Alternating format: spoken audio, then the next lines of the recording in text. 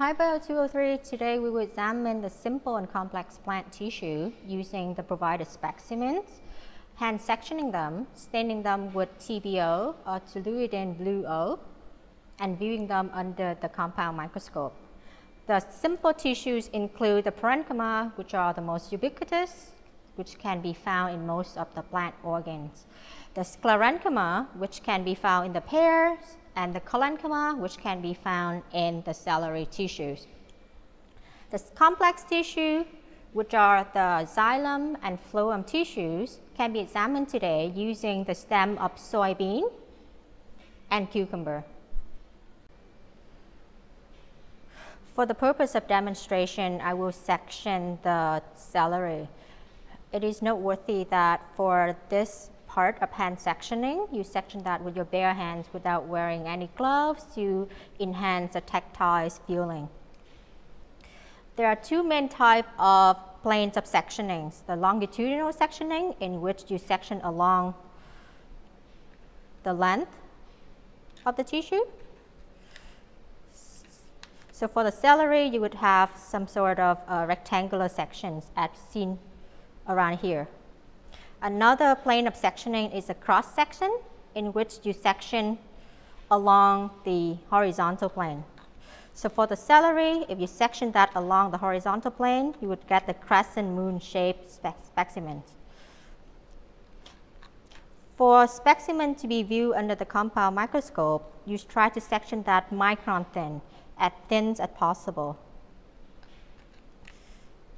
When you have a good flow, just keep on sectioning and then you can pick the best specimen to stain down the road.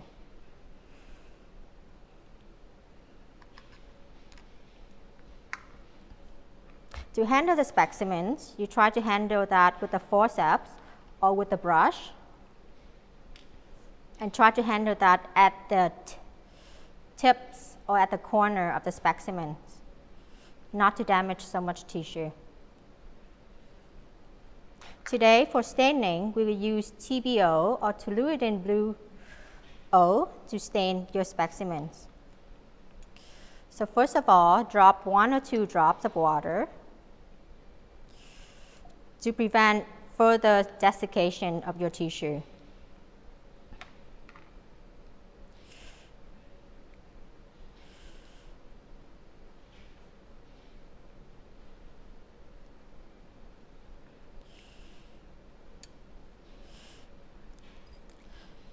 Have another droplet of TBO.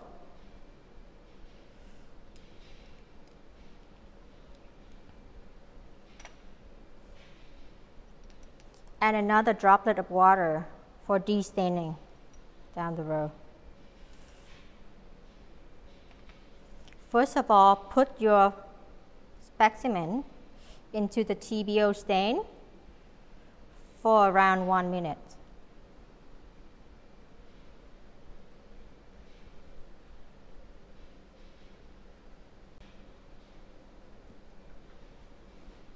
And then destain your specimen in water.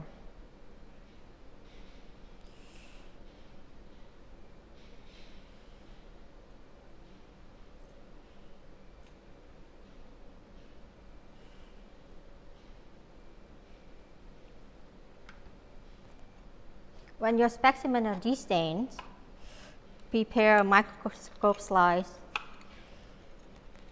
for your specimens.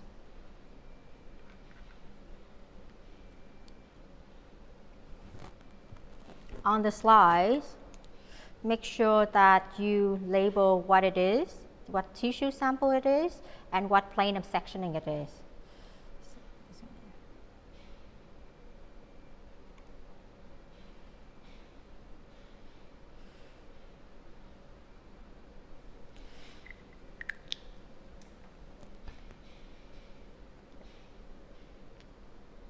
Add a drop of water onto your microscope slide.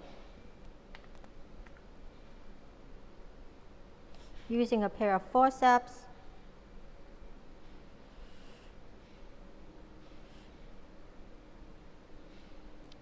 Place your specimen onto the slide. Make sure that your slide is sufficiently submerged in water.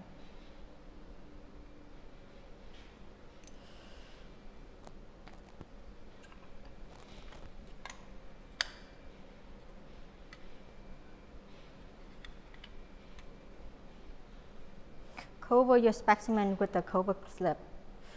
By covering the cover slip, you use an edge of the cover slip touching the slide at an angle. Slightly let it slide so that it's completely cover your specimen.